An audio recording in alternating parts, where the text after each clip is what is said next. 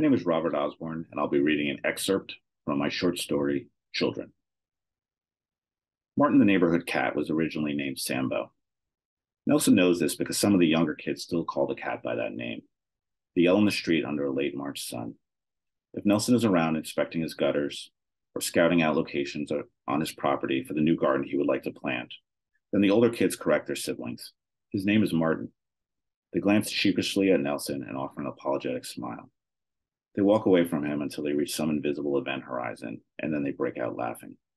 Martin Nelson calls to the cat, who arches his back and swishes his tail, his purr audible long before he reaches Nelson's extended hand.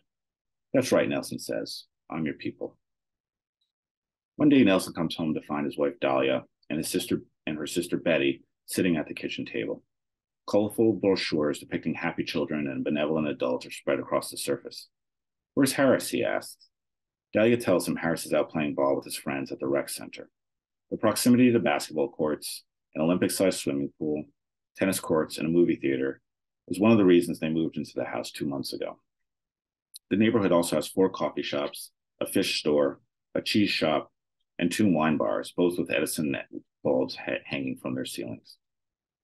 Betty is eyeing the brochures, her body cocked away from the jumble of smiling children as if, as if they're ex- exerting some kind of force. She runs her hand through the length of her blonde hair and lets out a long sigh. They've decided to take the plunge, Dahlia says. It was too much.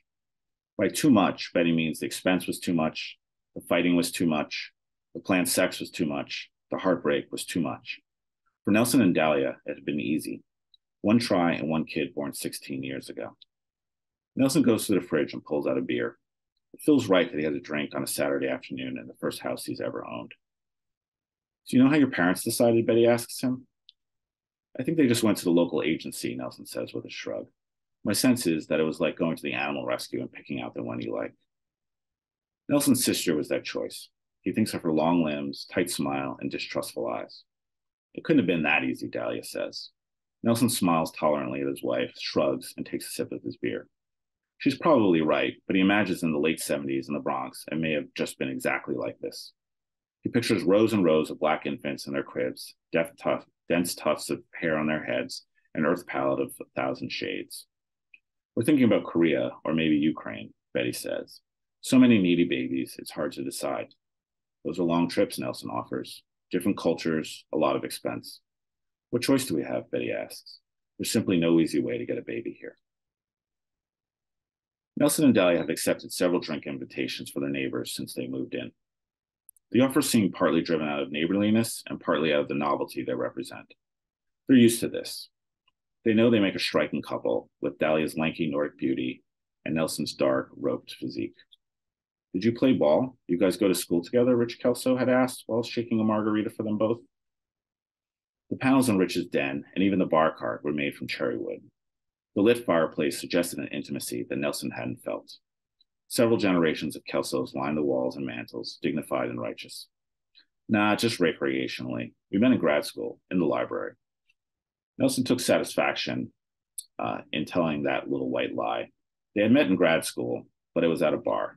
Dahlia grinning at him as she threw back a shot. She just finished her last exam. Nelson still had a year to go. Wow, that's something. You two sure look like the homecoming king and queen together. Thanks, Dahlia said. She gave Nelson a cautionary glance, while he raised his glass to her in a toast. Drinks with the Grahams a week earlier had put her on edge. Missy Graham had asked, How did you find this one? So handsome. The relationship always required some level of explanation. Dahlia used to come down to the hood to watch some of us play ball, Nelson said with a wink. Oh my. Yeah, I caught her eye. Dahlia's own eyes flashed with anger and warning, but she smiled and said, He did. Later that night, when they were when they were getting ready for bed, she said, give anyone else that bullshit answer again, I'm going to kick your ass. I just give the people what they want. But Rich Kelso had wisely dropped the subject and handed them both their margaritas and sweating tumblers. They talked about grad school, the neighborhood, their kids. Rich and his wife had both gone to Ivy League schools, and they were only too happy to discover they had that in common. Towards the end of the evening, Mary looked pensive and wrung her hands. She glanced at Rich, who nodded to her in encouragement. You two are so lovely, and we just wanted to say that we're sorry about the cat. We should have known better. We didn't give the name any thought, but we should have. We're all sorry, everyone in the neighborhood. We meant no offense. Nelson looked them both in the eye with a tight smile, uttered the most important phrase you need to know if you're a Black person trying to get by in certain social situations none taken.